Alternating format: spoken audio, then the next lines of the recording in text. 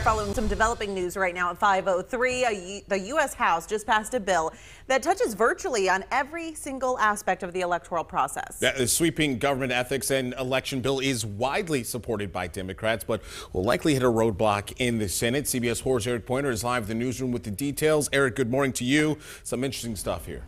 Yes, so H.R. 1 has been a priority for Democrats since 2018, but they now say it has a renewed sense of urgency after former President Donald Trump repeatedly claimed of unproven voter fraud. Now, meanwhile, Republicans say that it will take away from the states within their own elections. It would do things like strike down hurdles to voting and aim to bring transparency to campaign finance systems that allow wealthy donors to anonymously bankroll political causes. It would also restrict partisan gerrymandering of congressional districts. Now, gerrymandering is where a group tries to change a voting district to create an outcome that helps them or hurts the group against them.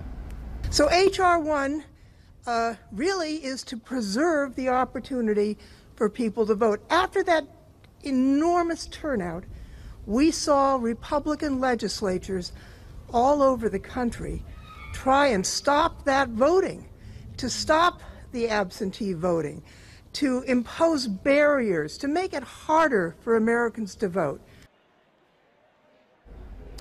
But Republicans feel this expansion of government's role in election limits political speech and is an overreach in a federal power grab.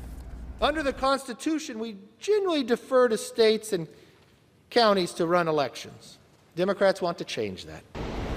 Former Vice President Mike Pence spoke out about it. He says it increases opportunities for election fraud by preventing states from being allowed to implement their own reforms. He said, quote, election reform is a national imperative, but under our Constitution, election reform must be undertaken at a state level.